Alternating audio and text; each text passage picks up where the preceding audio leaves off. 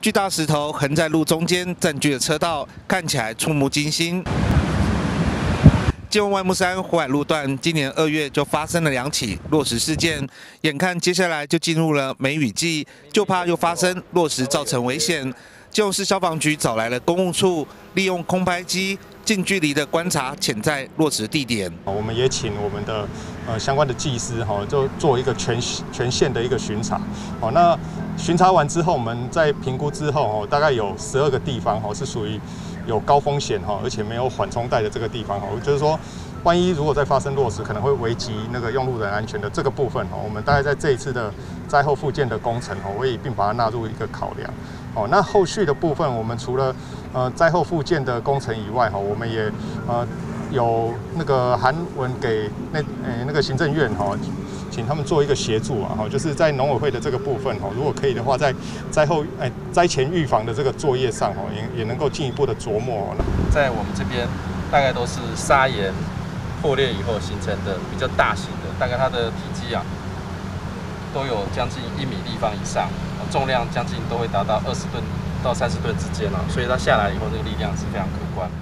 其实基隆可能发生落石地点不止一处，像是东岸的北宁路，因为地质条件、山坡页岩长期风化，加上雨水冲刷，早就存在了危险性。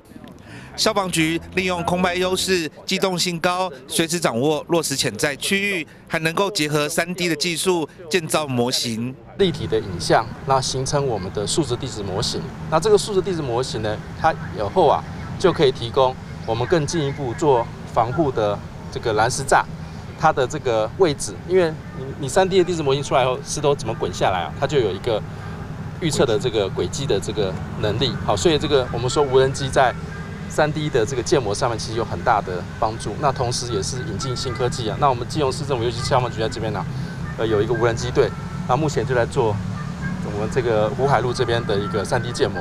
那我们也看过成果，其实相当的不错。好，那我们觉得这个新科技在未来，尤其是我们基隆地区湖海路这里的一个落实的防护，或是未来的工程的一个设计啊，应该在无人机应用上会有很大的潜力，也可以对我们市民的安全。然后有一个更好的保障。相关的研究报告来讲，哈，那落实这一块是比较难以预防，或者是说我先期能够做一个呃先期的一个评估跟了解，哈啊。但是这一次我们是希望说，哎，这有呃刚好是呃金融市这边哈消防局有这样的一个技术，有这样的一个团队啊，哦，所以我们特别哈商请那个消防局来做一个协助。基隆消防局空拍机队不止每次投入救灾的行列。今年积极的收集潜在落实区域的空拍画面，希望能够提供专家学者更完整资料。它这个落实，它有它的一个纹理，哦，那也有它像包括顺向坡或逆向坡，哦，或是它落实，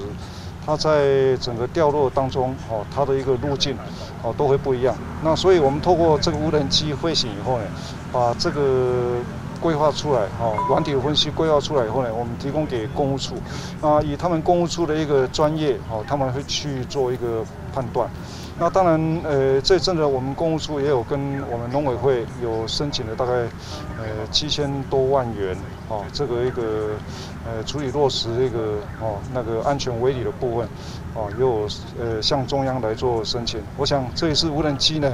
啊，透过这个飞行以后呢，把这个资料提供给公务处，啊，我们两个单位来合作。那同时我们海大有一个顾春义顾老师。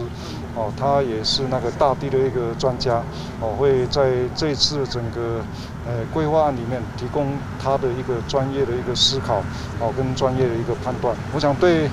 呃我们整个万木山地区或是海那个海洋大学那边北宁路那个地区呢，哦，这个路段呢，哦，这个落实过去的发生的一个意外，哦，能够提供一个安全的一个意见。